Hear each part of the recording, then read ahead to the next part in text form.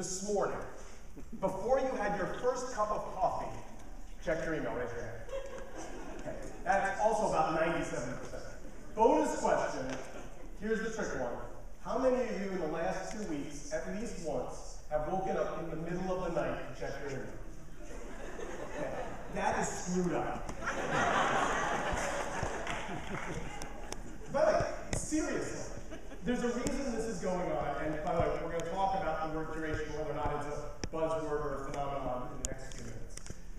Eric Schmidt from Google has said that from the beginning of time until 2003, we created five exabytes of data. They have to think about what that means. That's the Bible, that's War and Peace, that's the phone book, that's your love letters, that's everything.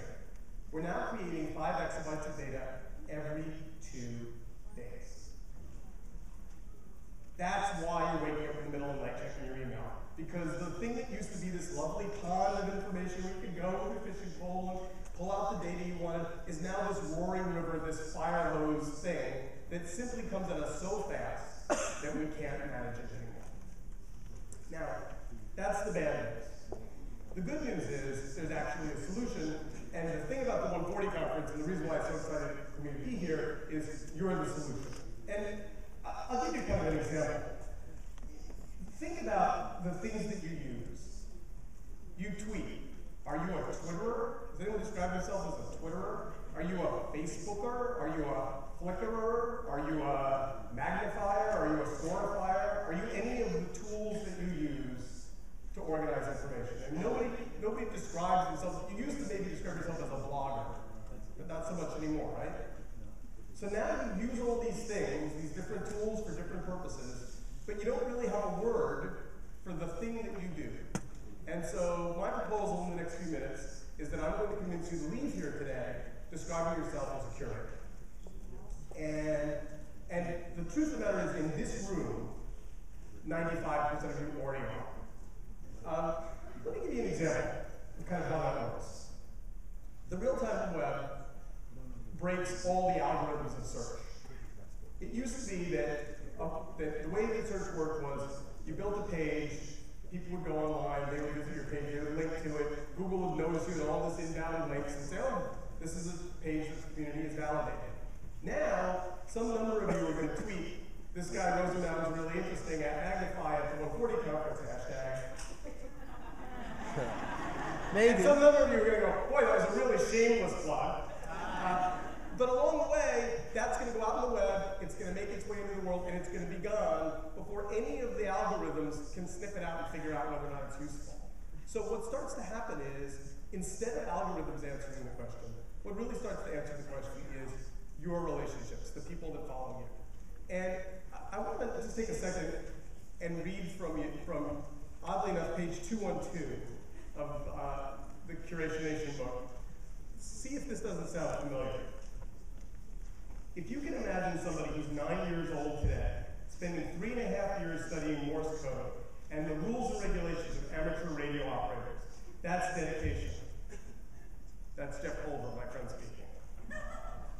I grew up with communicate and the ability, and I started to connect people randomly around the world, but there was always an underlying theme of connecting people with people and to be able to have just a conversation, says Paul.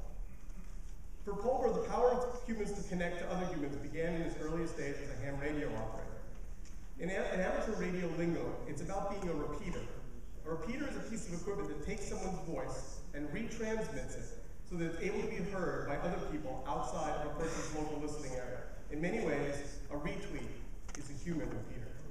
So I don't know if any of us at nine years old was figuring out where the web was going, but Jeff certainly was. And the more I think about the analogy between early ham radio and what's happening now, what's clear to me is, you know, you don't repeat everything. You repeat certain things.